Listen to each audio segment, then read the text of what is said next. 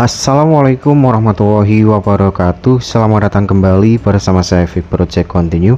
Salam sejahtera buat kita semua. Mudah-mudahan apa yang kita harapkan Apa yang kita inginkan Kita doakan dalam berkat ini akan segera tercapai. Amin Ya langsung saja ke dalam pembahasannya. Di kesempatan kali ini Sekarang kita akan mengulas mengenai dari aplikasi Pinjaman online, pinjaman dana, dana cicilan.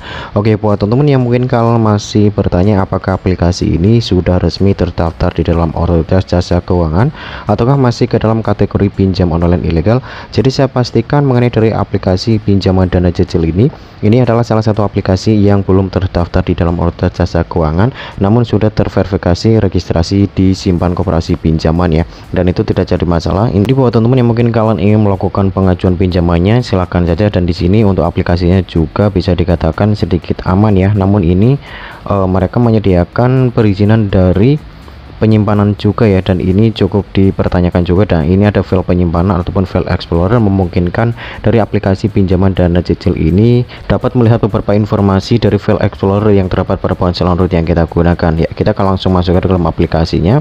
Jadi ini aplikasi yang belum terdaftar di dalam otoritas jasa keuangan. Oke di sini izinkan pinjaman dana mengambil gambar dan merekam video. Oke jadi ini dapat dipastikan adalah aplikasi pinjaman online yang masih tergolong aplikasi pinjaman online ilegal. Jadi harap berhati-hati hati-hati buat teman-teman. Jika memang kalian ingin melakukan pengajuan di aplikasi pinjaman dana cicil ini saran saya gunakan ponsel Android yang uh, yang kedua ataupun yang lain.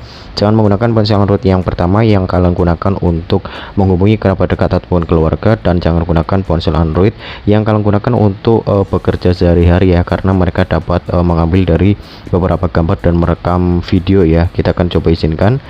Kemudian di sini izinkan akses lokasi juga kita izinkan juga ya di sini izinkan pinjam dana mengakses foto media dan file perangkat. Ya kita di sini izinkan atau tidak ya? Kita akan coba izinkan saja di sini kita akan izinkan terlebih dahulu supaya kita dapat masuk ke dalam aplikasinya.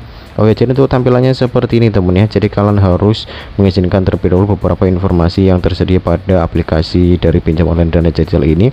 Dan saya pastikan buat teman-teman jika memang kalian sudah terlanjur dicairkan untuk pinjaman dari aplikasi dana cicil ini tidak perlu khawatir ya. Jika memang bunganya tidak sesuai kalian boleh bayarkan saja melalui debt collector ataupun customer service yang mungkin menghubungi kalian melalui sosial media WhatsApp. Jika memang penagihan dilakukan dari aplikasi ini sebelum dari tanggal jatuh tempo tersebut atau pada jatuh tempo misalnya uh, H-2 ataupun H-3 mereka hanya mengingatkan itu tidak apa-apa ya. Namun jika sudah uh, menagih ataupun sampai meneror jangan dibayarkan ya. Tunggu saja debt collector datang ke rumah, kalian dan saya pastikan mengenai dari aplikasi pinjaman dana cicil oleh ini ini adalah aplikasi yang tidak memiliki debt collector yang nanti datang ke rumah kalian. Jadi untuk kesimpulannya seperti saja aplikasi ini adalah aplikasi yang belum terdaftar dalam motor jasa keuangan. Semoga informasinya bermanfaat. Sampai jumpa kembali di video saya selanjutnya. Bye bye